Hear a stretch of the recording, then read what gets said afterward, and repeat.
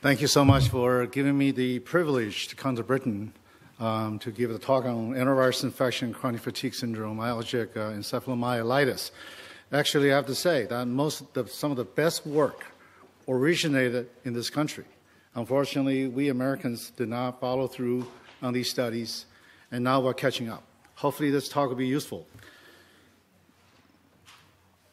I'm going to present you a case. As a clinician researcher, I think it's important to understand the clinical manifestation of an illness.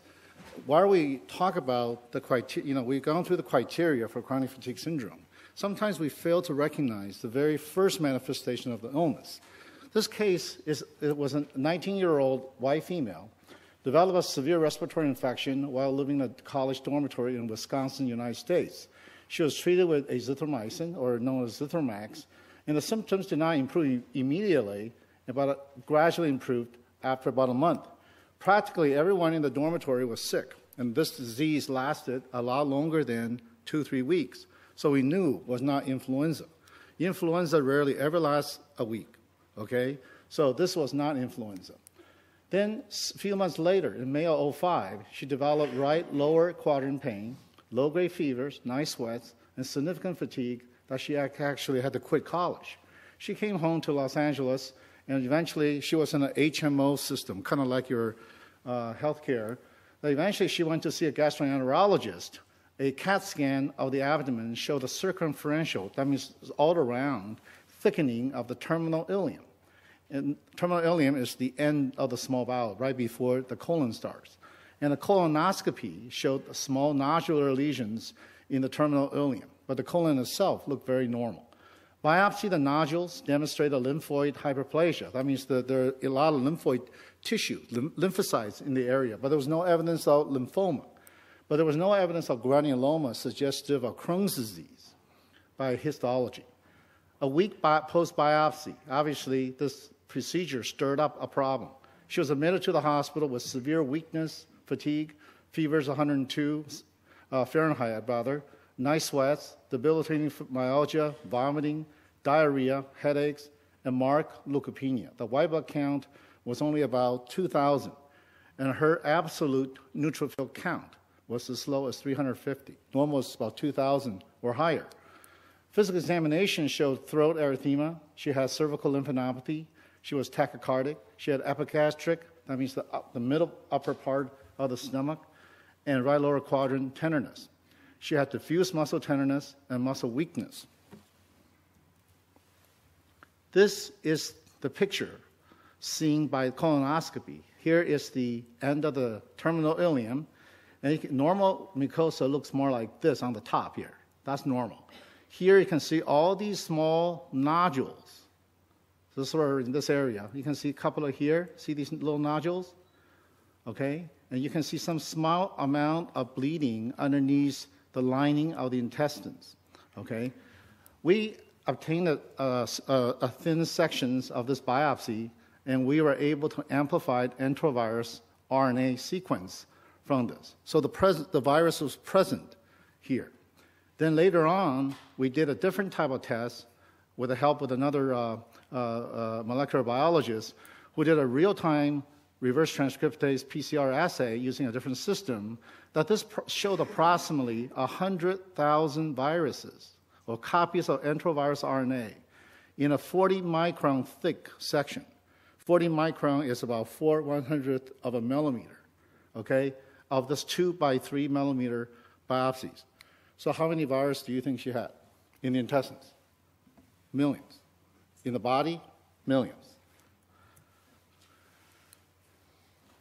We did a bone marrow biopsy that showed normal cellular elements. The reason we did this is we were afraid that she may have leukemia. We also detected the enterovirus RNA in the bone marrow biopsy. The IgG IgM antibodies for adenovirus, human herpes 6 virus, CMV were negative. Epstein Barr virus, IgG, was positive with a negative IgM. So we knew this was not acute Epstein Barr, CMV, or HHV6, or adenovirus infection. Interesting enough, Coxsackie B virus 1 through 6 and echovirus 69, 679, 1130 antibodies were negative. I will come to this in a second. There are many more enteroviruses than we can detect by the neutralizing antibody test. So she was given two doses of intravenous immunoglobulin. As Dr. Hooper just pointed out, IVIG does work for some of these virus infections. So we gave her this, and she had a gradual improvement of her symptoms and fevers over the next seven days. And the leukopenia improved. She was discharged in a week. After the hospitalization, she still had continued fever, myalgia, headaches, lower abdominal pain, function, the symptoms of functional dyspepsia or irritable bowel syndrome, but was able to function about three to four hours a day. She tried to go back to school or go back to work, but she was not able to. This lasted about the next, next, next four months. Then after this, she lapsed into a severe state of chronic fatigue syndrome, and she could not even get out of bed for more than one to two hours a day. About a year and a half after this hospitalization, we asked her if she would like to have a stomach biopsy to document the presence of the virus in her stomach, and she agreed to. And in this picture here, which is uh, with 100x magnification, we can see this diffuse brown staining. The brown color indicates the presence of the viral protein. The blue is the background. The normal cells are blue. There are some inflammatory cells here. And in this 400x mag- magnification, you can see the viral protein is concentrated in these cells, which are larger than the smaller cells here. The smaller cells are chief cells, and the larger cells are parietal cells. Parietal cells is the most metabolically active cell in the stomach. The job is to produce acid. So it is metabolically active. We also detected enteroviral RNA sequence in the stomach biopsies. So this is almost about two years after the respiratory infection and a year and a half after the, gast- the gastrointestinal manifestation. Enteroviruses are termed picornavirus, small RNA virus. And the genome is a positive strand RNA, unlike the herpes virus Dr. Lerner talked about, the genome is made of DNA. You will see this, the term VP1, VP2. These are viral capsid protein 1 through 4. These makes up the, the capsid protein that basically will, will basically coat the, the genome inside, and that will become a virus like this. Polioviruses, there are three, and there, these are the, the best worked out enteroviruses of the whole uh, uh, um, genus. Then you have Coxsackie A virus, there are 23. Coxsackie B, there's only six. Echoviruses, there are 26. As you noticed that in the previous slide, we were only able to test five out of these 26. And now any of the new enteroviruses that are found are given a number. Uh, so 68, 71, and now I think they're up to the 90s now. It's important to go over the symptoms, the route of transmission of acute enterovirus infection. I'm sure a number of patients will recall the flu-like illness you had in the very beginning. In order to understand chronic infection, you must appreciate what the acute infection is like. I'll give you an example. A patient comes to my office and said, Doctor, I had the flu. I said, Oh, you had the flu. I was thinking the patient had influenza, especially this is in December of the year. And I said, You had high fevers, you had respiratory symptoms, you were coughing, you had a sore throat. No, doctor, that's not what I meant. I have vomiting and diarrhea. Well, that's not influenza, is it? With this type of, this is a limited way, but it actually works out fairly well to recognize or narrow down the viruses that may be causing the acute infection. Acute enterovirus infections are very, very common. In the United States alone, there are more than 50 million cases per year. This was estimated probably more than 10 years ago. So, one in four to one in five Americans can get sick with an infection like this per year. Largely, the infection could be asymptomatic. That is, the patient may have a very little symptoms or no symptoms at all and just shed the virus. But the majority of the patients do have respiratory or GI or respiratory and GI symptoms. These are the two routes of entry. Respiratory you will enter through either the nose or the throat. So patient will have rhinitis, like runny nose, sinus congestions, sore throats, bronchitis, pleural involvement like pleurisy, and even pneumonia. Gastrointestinal manifestations, the most common, of course, is the vomiting. If you ingest the virus, the first station to hit is the stomach. So this can occur within a very short time after ingestion. It could be several hours to several days. The incubation period is usually about three days to three weeks. Patient can have diarrhea, gastritis. Some patients, when they are sick, could not even tolerate one ounce of water. They couldn't eat. They would be like this for several months. Terminal ileitis is like what we just saw in the first patient I presented. Colitis, inflammation of the colon, hepatitis, liver inflammation, and pancreatitis. Sometimes a number of these things can go together. Some patients can have a prolonged fever episode lasting to three to four weeks, and temperature can be as high as 102 to 104, again, Fahrenheit. That's pretty burning hot. If it's a centigrade, we'd be all dead. We would have a temperature that high. So very commonly, patient can present with leukopenia, and we see this quite often, and bone marrow failure in some younger patients, and certainly more severe in the immunocompromised patients.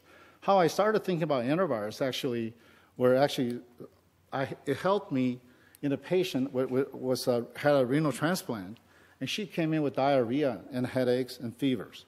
She eventually died of this infection, and we grew the virus out of the spinal fluid and also in the fecal material. I really was, then I realized this type of virus can be very deadly. And when I told the other physicians about this, finding the enteroviruses in these areas, and the, then the response was, well, all you think about is enterovirus. Okay, all right. Amazing, isn't it? Okay, these viruses, after they replicate in the initial area of infection, they can disseminate to the central nervous system, cardiovascular system, the muscles.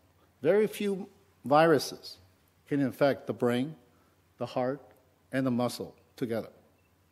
As far as I know, there's only one class of virus that can do all three. Okay? So meningitis, encephalitis, myelitis, epidemic vertigos, I'm sure a number of patients present with this horrible vertigo, and sometimes you can develop bilateral deafness with this type of infection. Cardiovascular infections, myopericarditis involving the myocardium and also the envelope around the, the heart, endocarditis can happen. Muscle infections usually can present with acute myositis. That's actually true inflammation of the muscles will break down the muscles. Rhabdomyolysis, which can be seen with a number of infections, and joint pains, and arth- true arthritis, and also pleurodenia, which is Bornholm's disease, as many of you already know. Skin manifestations are quite common. Patient can have little clear fluid bu- bubble-like uh, uh, lesions of vesicular, very much like chickenpox, macular papular, a little bumps, a little red raised bumps, uh, petechiae is a little like blood underneath the skin, urticaria, which are also like hives. Very often, patients present with urticaria are thought to have allergies. In the ER, the emergency room physicians will treat these patients with steroids, and then the patient would develop chronic fatigue syndrome afterwards. Vasculitis, which is inflammation of the blood vessels, erythema multiforme, and Stevens-Johnson's are much more severe uh, skin and mucous membrane involvements. And anthems, which I will show you in a while, herpangina, as you know, are, are lesions of the hard palate, which is only exclusively seen with enteroviruses. And we can also see tongue and oral ulcerations. What determines the outcome of an acute infection is what we call the T cell response. And you, I'm sure you've been hearing a lot about Th1, Th2. Th1 response, if you can see here, normally when we're asymptomatic, you're at a horizontal line. When you see a virus, logical, usually the, T, the Th1 will dominate, okay? And what Th1 is here, Th2 is here. And then you'll, you'll pour out these inflammatory cytokines. Some are pro-inflammatory, some are T cell cytokines, and this will eventually lead to the eradication of the infection. Then the Th2 side will secrete the regulatory cytokines and then tell the Th1 to shut off. Then you will go back to the horizontal line. The infection, the symptoms will resolve. That's the case we see with influenza.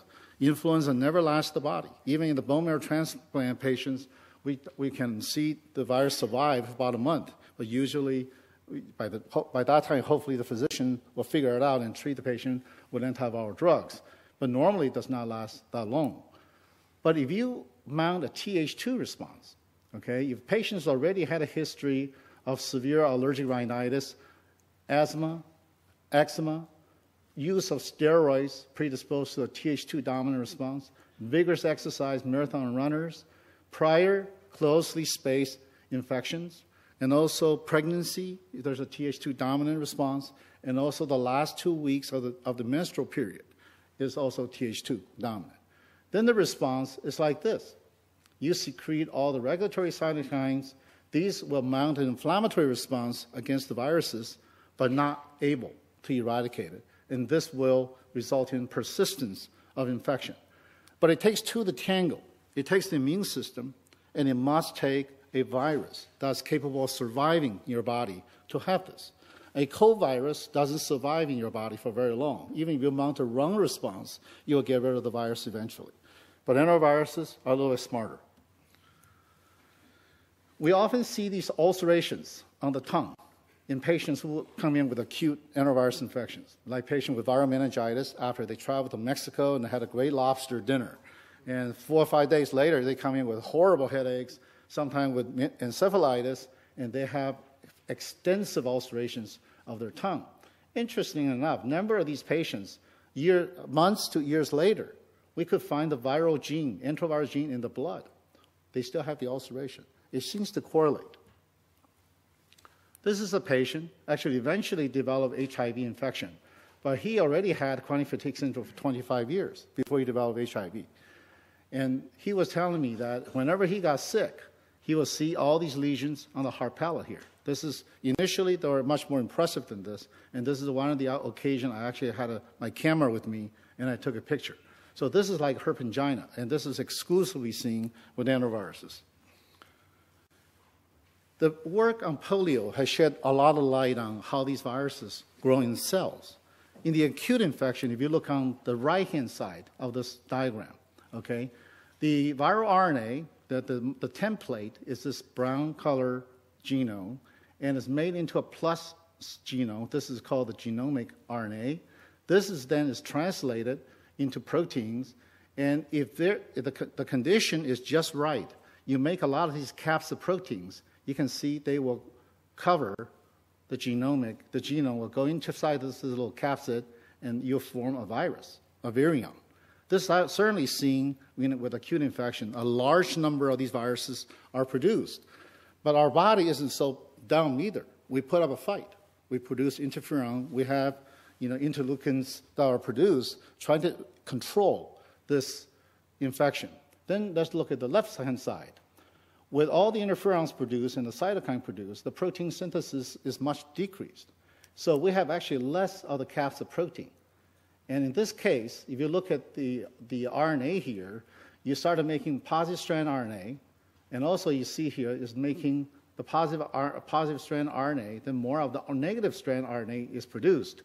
This actually, I will show you later, eventually could form what we call a double-stranded RNA and survive in this so-called membrane vesicle. Membrane vesicle is a little outpouching pocket inside the cell. And um, this is where poliovirus will grow in these membrane vesicles. Some of the proteins are made, are eventually made, as you can see here. But in this setting, there's so little of the capsid protein, really there isn't enough to make a virus. So the virus will persist in this fashion. We'll come to back to that in a second. This is an experiment Dr. Tam and Masner did at University of Minnesota. These are rheumatologists very interested in muscle diseases. They are more interested in autoimmune manifestation of uh, muscle disease. But then they found that Coxsackie B virus seems to be a trigger of this disease. So what they were doing was they were giving mice this Coxsackie B virus by an injection into the belly. And they poke a hole into the, the hind leg of the, uh, the mice Within a few days, the virus will enter the injured leg and start producing this, this muscle infection. What they notice is that, in, please follow me with on the right-hand side, this first panel here. In the, by day seven, when the acute infection is well established, you see a large amount of this positive strand RNA. Remember the one I saw you show you on the previous slide? There's a large amount of this genomic RNA made. And like there's a lot of viruses are made, when he, she used an enzyme to try to break down this RNA, this is a single strand RNA, then you got left with very, very little of it on the right hand side of this big bright band. Then she took the muscle samples a month later or even later. You see very little of this positive strand RNA, at least before the digestion. And after the digestion is exactly the same. What she then went on to do is study these strands by strand specific primers. And basically, she came out with essentially no mutation in the viral genome, that this here actually is in the form of a double stranded RNA. Our body cannot degrade double stranded RNA. We don't have a mechanism to degrade a large amount of it. So then the next finding from Dr. Kim and also Dr. Nora Chapman from University of uh, Nebraska, they work in viral myocarditis. And they have always been interested in chronic myocarditis because they have previously shown that the viral genome can survive in the heart for up to one or two years uh, after the mice are infected. Well, mice only live two years. So that's practically the entire lifetime of the mice. They went on to study, and actually they were successful in growing the virus from the murine heart, okay, few months to one year later. What they found out is that these viruses now have mutated. So you, once you put into a tissue culture, you have to be very, very patient. The virus does not kill the cell, does not produce a massive amount of virus in a few days. You have to wait practically six weeks before you can start harvesting the cells and start looking for the virus. And there was absolutely no killing of, of the, the cells by the, by the mutated virus. What they found was there was a deletion in the 5' non-translated end. This is the beginning of the virus genome. There's a certain section of it, it just deleted. When this is deleted, this allowed the virus to grow very slowly inside the cell and not kill the cell, which protects it. Okay? So that's what they concluded. I'm now going to review some of the past evidence for chronic uh, for the persistence for enterovirus persistence in chronic fatigue syndrome, my, uh, myalgic encephalomyelitis. You can, you're going to see that most of the data came from this country. Niren initially found the PCR assay looking for viral RNA was a better test than the neutralizing antibody for differentiating the CFS patients from controls. And then Go, I believe he was also in Scotland, found enteroviral RNA sequence in the muscle biopsy specimens from 53% of the patients, chronic fatigue syndrome ME, and 19% of the controls. A subsequent studies he did, actually published in the uh, Clinical Infectious Disease Journal in 1994, used a different set of controls. This, these controls were patients with muscular dystrophy, underlying muscle disease. Of course, they don't walk, they don't move very much, okay? And then the, the, the percent of the positive RNA in the CFS patients was comparable to the patients with muscular dystrophy. So from that point on, this was kind of not looked at very much. Dr. Yosef reported CDV, uh, Coxsackie B virus RNA persistence in the muscle fibers in 6 out of 13, or 46%, of adult patients with dermatomyositis. This is, a, is a, thought to be an autoimmune uh, muscle disease or polymyositis using in situ hybridization. His greatest contribution also is to find the monoclonal antibody that was stained for enterovirus, which I'll show you later. Cunningham later demonstrated that the enterovirus RNA found in the patient material had a positive to a native strand ratio of 1 to 1. Remember the chronic infection model of poliovirus is 1 to 1, rather than the 100 to 1 ratio in control enterovirus cultures. This enter- control enterovirus culture is more indicative of an acute enterovirus infection.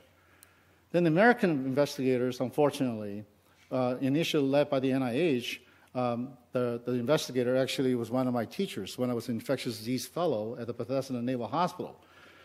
He sent blood to the CDC and also to Dr. Robart in Denver, uh, Denver Children's Hospital. We have no idea how long these blood were sitting around, how the blood were handled, but basically, we Americans did not reproduce this type of results. So eventually, at the end, in 1994, when this summit happened, they basically felt, well, the results were not reproducible. Okay, no, no viruses were found in these patients. This has led an entire shift in the paradigm of this illness.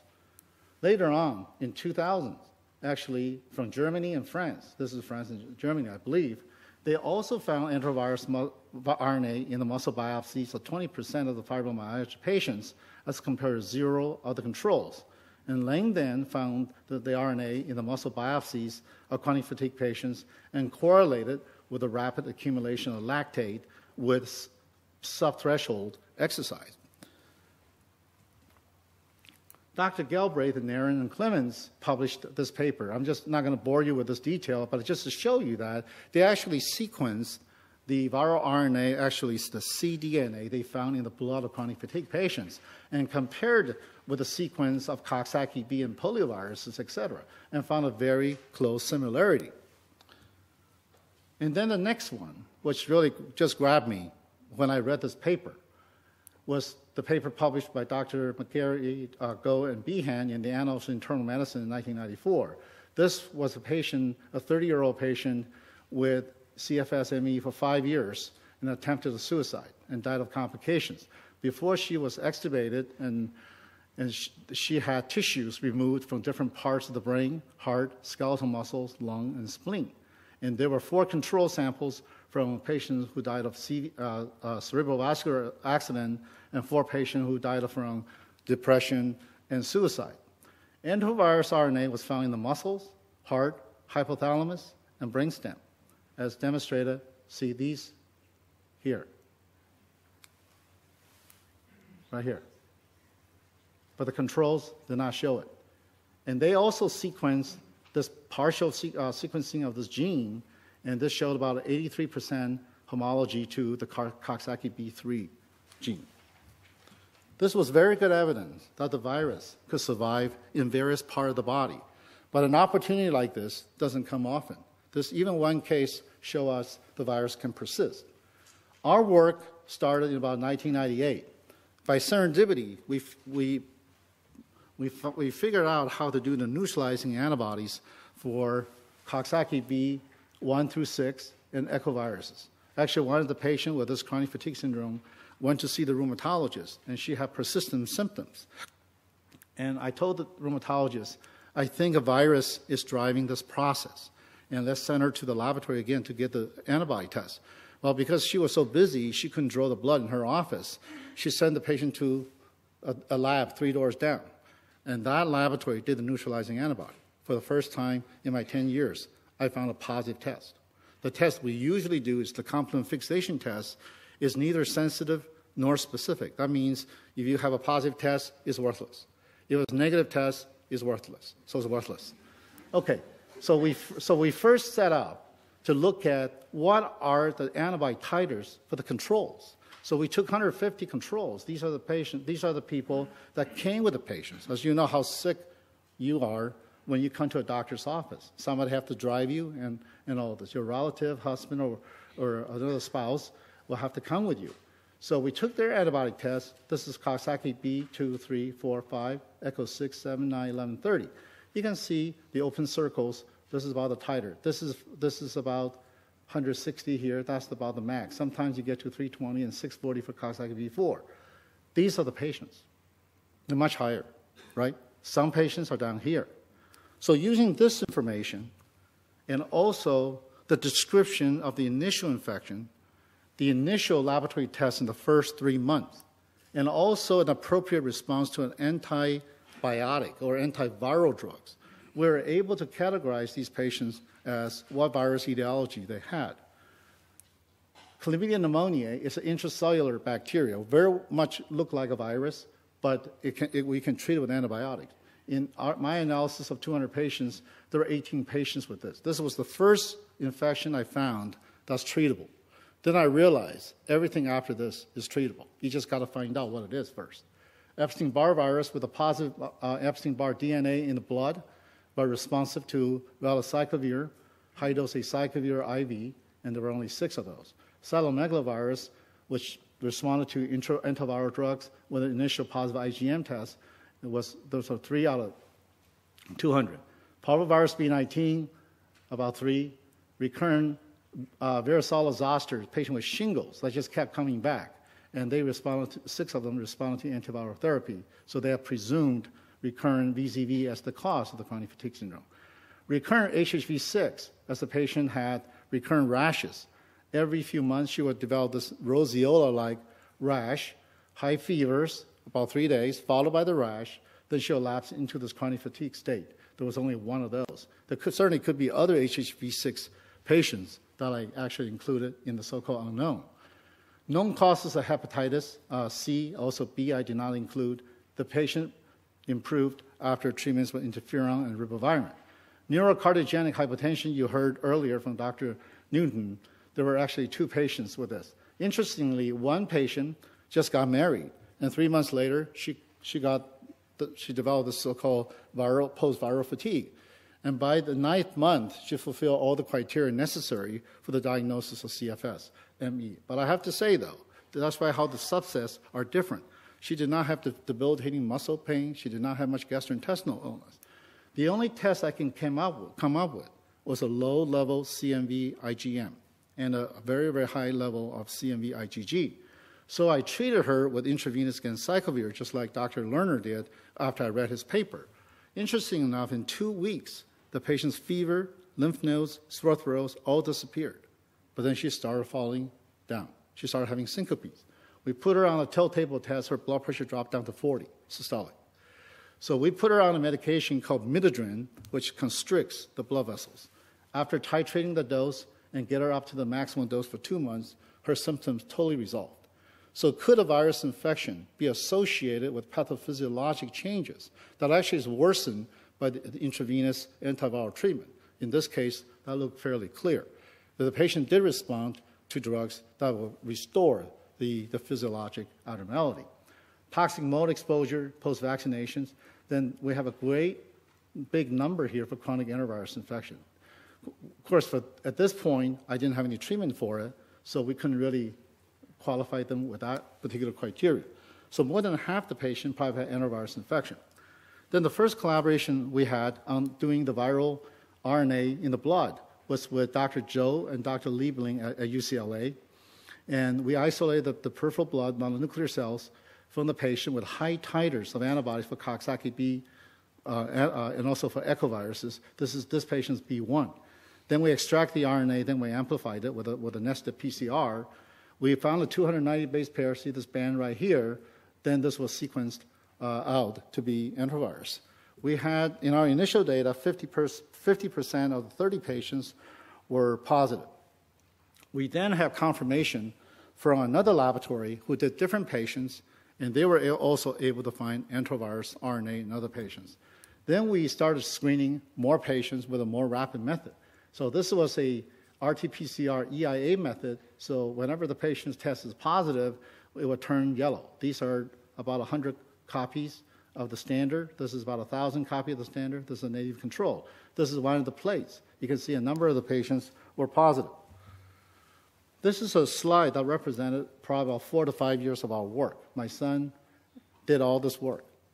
And um, initially, what we did, we took the blood from chronic fatigue patients, and about 200, 112 out of 236 patients, or 48%, and but only nine of the 118 controls, or 8%, were positive for enterovirus RNA in the blood. But this is using the blood cells rather than the plasma itself. Then, as we kept doing this work, we started saying we, we need to reproduce this. We need to do more samples. So of the patients, I had more than two samples. Okay, only 38% were positive, and only 4% of the controls were positive.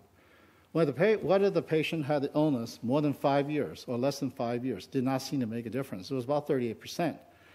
Then from March 01 to August 08, we have drawn more than 2,500 blood samples from more than 600 patients. And about 35% of the patients were positive.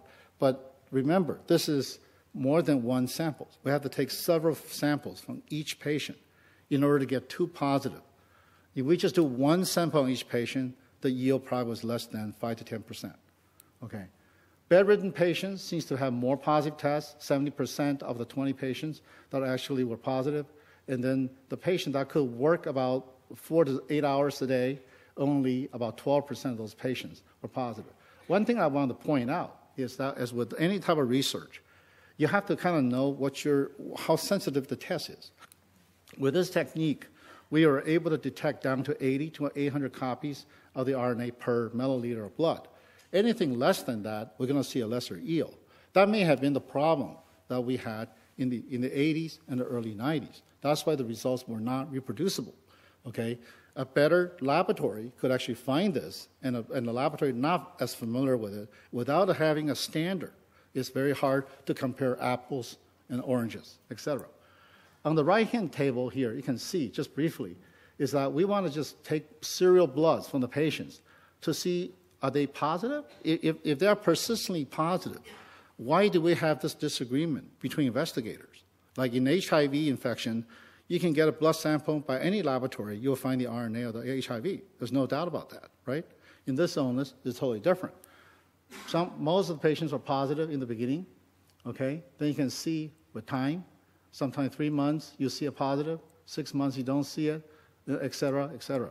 So this viral RNA is not consistently detected in the blood to allow us to figure out what the patient has. That was one of the problems. The other problem is the RNA preservation. This probably happened in the 80s because I noticed in the British investigators' work that the blood would process very, very quickly, We usually within two to four hours of blood draw. This is why that if, if blood were sitting around for more than a few hours, this thing is gone. We have data to show this. You know, we, have, we, we, we, take the blood sample, process at two hours versus seven, eight hours later. You can find the RNA later. Okay? So using the PAXgene tubes, which Dr. Kerr uses all the time, we can actually find the genes, you know, of, of, of the viral RNA in about 27% of the patients. Using the yellow top as the acid citrate uh, dextrose A tubes, this is the one that I actually have to run to the laboratory between patients to centrifuge it and collect the serum and the plasma and then freeze it immediately. These actually came out to be fairly close, okay? Then the patients, eventually, we did 226 blood samples. This is one draw only, okay? 29% of the PAXgene tube were positive for the viral RNA, some confirmed by the sequencing. Later on, we also did the stomach biopsies with concomitant PAXgene draws. 38 patients had both of PAXgene and stomach biopsies, and 82% of the patients stained positive for viral protein in the stomach, and about 26% were positive for viral RNA in the blood. What gave me even more courage to pursue this enterovirus research is the treatment data. Because for many years, you can have all the fun in the laboratory, but the patient keep coming back, doctor, what are you going to offer me? What are you going to do for me, right? We talked to drug companies again and again. They are not interested in doing any studies. So we started trying different things. This is a, uh, a treatment studies um, using interferon alpha, uh, pegylated interferon alpha and ribavirin. This is the standard treatment we use for hepatitis C. If you don't mind taking a look at the left upper panel here, this is my son's data. On the x-axis, on the y-axis is the titers of his antibody. My son had Coxsackie B3 and Coxsackie B4. At the time before we started the treatment, it was 640. This is the months. When I started him on ribavirin first, there was a dramatic drop in the titers, down to 80. And he was treated for four months. The titers stayed down here. After he finished treatment, almost within a month or two, his symptoms relapsed, and the titer went up to about 320 right here. This is also, we started doing the collaborative work with UCLA, and we found the viral RNA in his blood twice in a two week interval. So we know there was a presence of virus here. Then I treated my son with interferon and ribavirin here. You can see a significant drop of the, of the titers of Coxsackie B3 virus. And the patient, my son felt much better. Then when we did all the RNA tests here, they were negative. Then we went to Hawaii. He felt so good, he wanted to climb the Diamond Head volcano. Okay, so we did. Afterwards, he had a relapse. The antibody level went up, viral RNA showed up, and the, basically the antibody stayed at 320 for almost the next four or five years. And then the RNA disappears. As you can see, this pattern repeats in other patients. Okay, this is not just one patient but all the other patients sort of follow this pattern. The next one that we realize is that interferon ribavirin is not powerful enough. But then the combination of uh, the alpha and the gamma interferon has shown great synergistic effect in the tissue cultures against enteroviruses. So we decided to treat patients with a combination of alpha and gamma interferon.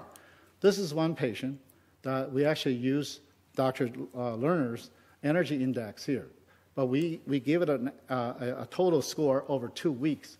So the maximum score, if you can see here, should be about 140. She's never reached that high. But her starting point is about 20 to 30. That's pretty low, isn't it? Out of a possible 140. All right.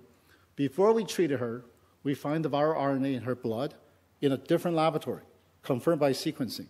And we found her viral RNA in our laboratory, confirmed by sequencing. So there's no doubt she has this. Okay. We treated her from interferon here. This is a pretty rough treatment to go through for a patient with chronic fatigue syndrome. So her energy level dropped even more. She was practically all bedridden. Her sister had to come in to help her. Okay?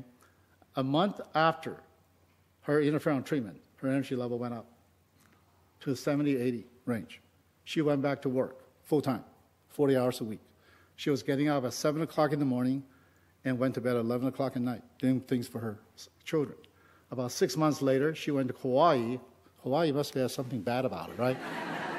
we should have her come to Britain next time, okay? All right. Well, she had a great time in, in Hawaii. She swam in the ocean with her kids. She climbed the Diamond Head volcano, et cetera, et cetera. And then she had a relapse. Her energy level dropped, and then her viral RNA showed up. Two positive tests in a two week period.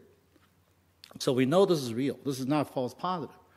After she rested about a couple of months, the energy level shot up. Then you can see the RNA turn negative. She actually added another 20 hours of work. So at this point, she was working 60 hours a week. Okay, staying out from 7 till 11. But one thing she always told me, Dr. Chia, I still feel tired, but I'm functional, but I'm still tired. Okay? About 15 months later, right about here, she relapsed. And this is interesting to put in perspective of what Dr. Lerner just said. Actually, the interesting thing about this is that the, the insurance company called me and said, Does she need to keep taking Valtrex? She's been taking Valtrex for almost five years. She, this, is, this is about three years into the Valtrex. And uh, I said, Well, I don't know if Epstein Barr virus is that important to her. So why don't we just stop? Within two weeks, she relapsed. Whether that has anything to do with it, I don't know, but it's certainly interesting, isn't it? That deserves more investigation. So at this point, I actually had to treat her with additional interferon, and she went back to work again. This is a summary of uh, the, uh, the treatment with alpha and gamma interferon. I mean, th- this treatment is so expensive. It's $5,000 a month. Um, in, and so we couldn't treat the patient for very long. So basically, we devised the cheapest regimen possible. So we either gave the patient a month of the full dose, or we gave that patient half dose for two to three months. Roughly, about, uh, trying to remember here, 50% of the patients that were treated with this interferon regimen significantly improved after completing the treatments, whereas three out of 45 controls that were observed had spontaneous improvement. This was statistically significant. Eight out of the 11 patients treated with a full dose improved, whereas seven out of the 19 treated with a half dose improved. This was a little bit better than the half dose. And 10 out of 15 responders returned to full time work from almost a bedridden state or energy index of Dr. Lerner described, maybe no more than two to three. Today, we gave this treatment to 62 patients, and about 47% have responded to combination therapy. This is a Kaplan-Meier uh, plot. Basically, the patients who have improved, I said 100%, and watch them over time. On the average, as you can see, about 9 to 12 months is about the median time the patient will relapse. But some of the patients lasted more than two years. These patients, interesting enough, are the one with a severe myalgia. And just like Dr. Kerr pointed out, there are different subsets of these patients. Some respond better than others. The patient with a debilitating, horrible myalgia responded to this the best. And usually by two weeks of treatment, the, the pain is completely gone. And those patients, we know will respond. The patients that don't re- respond within two weeks, we can't tell. We have to wait until they stop. This leads us to the stomach biopsy because we realize the blood test itself is not good enough to diagnose this, this disease. Then also put into a perspective, I, I, need to move on fairly quickly, I realize. Um, HIV infections, as you know, patients can have millions and millions of viruses in their, in their blood. So are hepatitis B and hepatitis C patients. But guess what? They don't feel tired. So in this disease, we don't see all this virus, but the patients are tired, right? They have all these weird tissue symptoms. So we said the, the virus must be in the tissue rather than just running through in the blood like the HIV. We can use HIV model to study this illness. So then we said, what would be a tissue that's accessible, okay, and we can easily find you know, specimens to look at. The stomach basically turned out to be the tissue. Think about this. Respiratory infections, you still have to swallow the secretion into the stomach. With gastrointestinal infection, if you eat something dirty, the food or water, you basically will get the water in, I mean, into the stomach first. So in, by, when the GI doctor look at the stomach, very commonly they will see these little red patches uh, in the, the bottom of the stomach called the antrum. Rarely, you can see some really inflamed uh, antrum right next to the, the, hole, the hole that will go into the duodenum. This is how we saw the staining. These are antivirus stainings. The normal is the blue, like this. So we use an anti-CMV antibody as a control. So this does not stain at all. In fact, out of 265 specimens, we have not seen a single patient that uh, have CMV staining. Here you can see an extensive staining, which are brown spots into the, the, in the biopsy. This is indicative, this is indicative of extensive viral protein in the cells. This we call a 2 plus. That's important to remember. In this here, you don't see as much staining as this one here, right? This is what we call 1 plus, less than 50% staining. And then we, re, we magnified this specimen to this by four times. You can see the staining is in these parietal cells.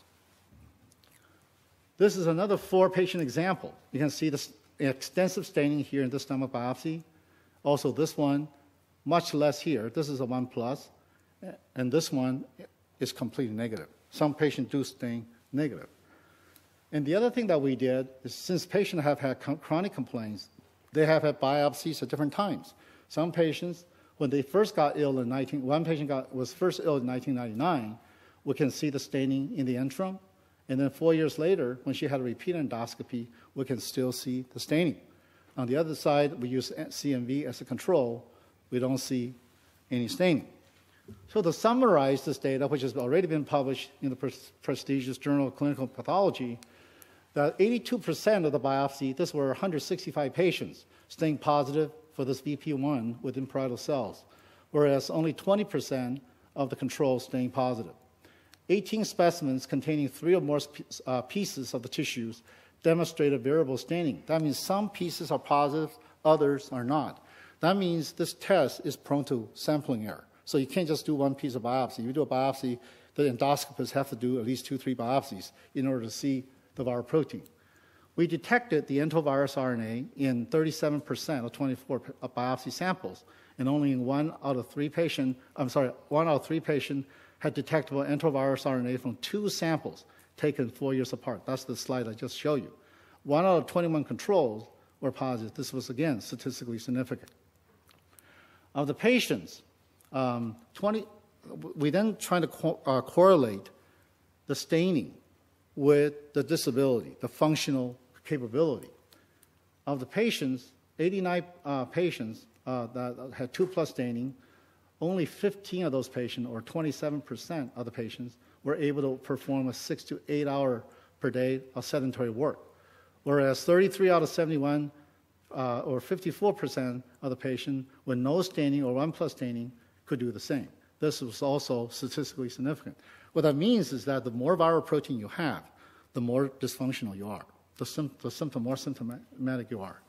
Today, we have done 263 samples. Some of the samples came from Canada and other parts of the United States, so not exclusively in Southern California. And it's still 82% positive with 100 more samples. We also added more controls, so 56 uh, controls, 20% were positive. But if we figure, we keep looking at the staining so how do we make this test more specific? So if we use 2 plus staining as the positive test then 57% of the CFS ME patients will be positive, and only 5% of the controls were positive. Then the specificity increased to 95%. That means one is positive at 2 plus, there is only 5% chance it could be wrong. I better move ahead with this.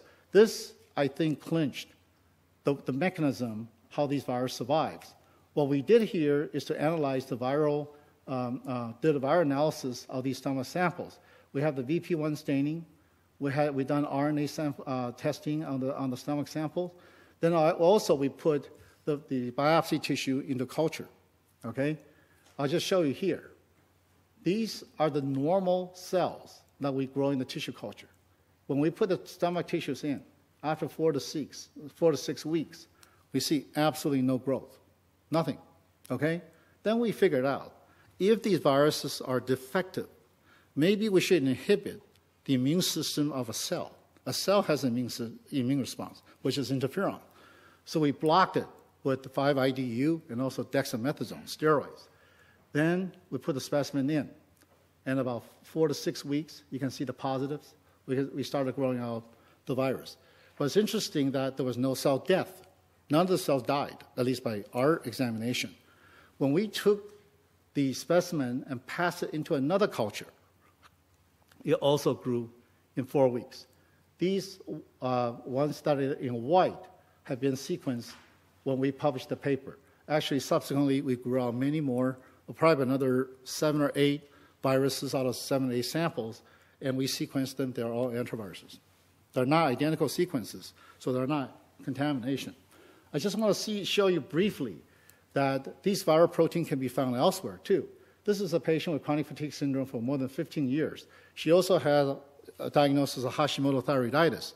She has chronic throat pain, and she was so tired, sick and tired of it. She asked the ear, nose, and throat doctor to take five biopsies. Okay?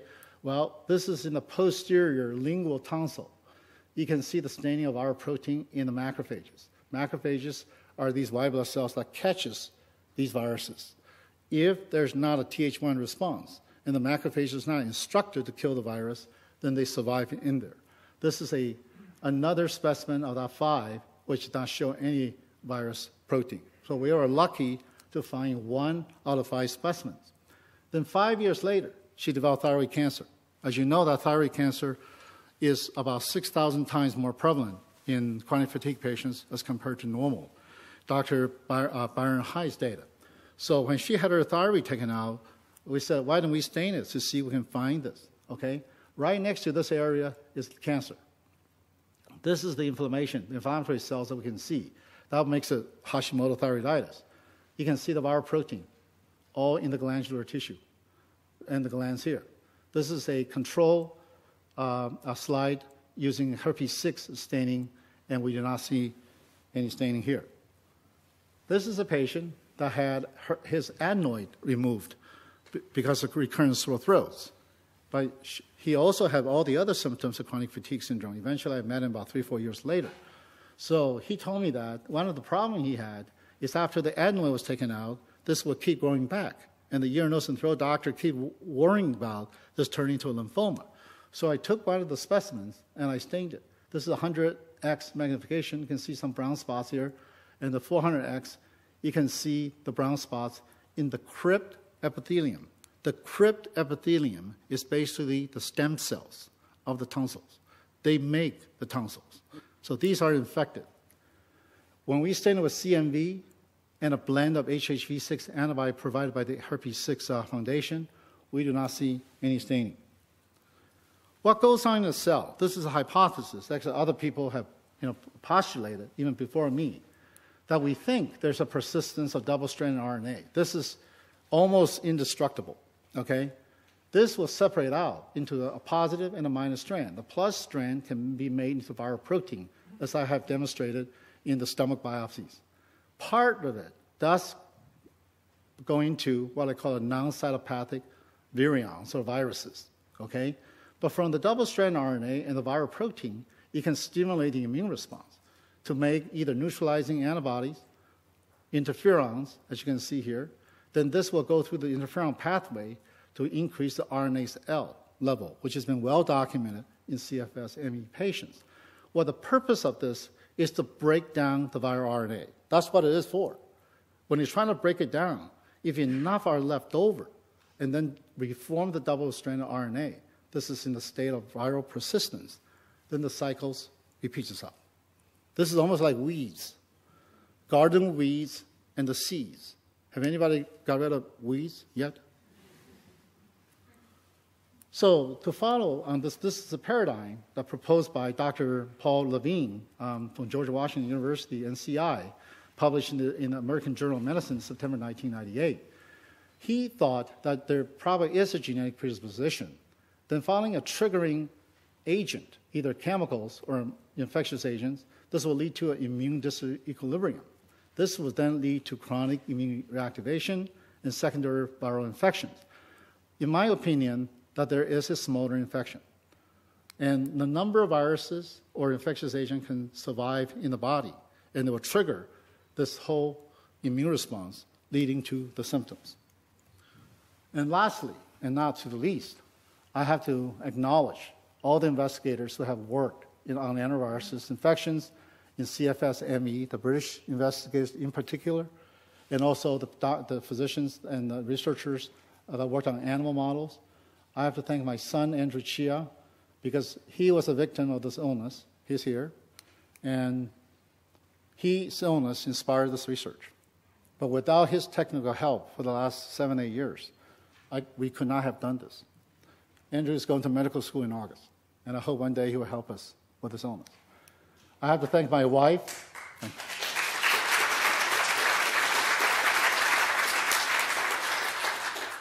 I have to thank my wife for her steadfast support in this research. You know how couples go out for a candlelight dinner? we went to the lab. Very exciting, isn't it? Okay.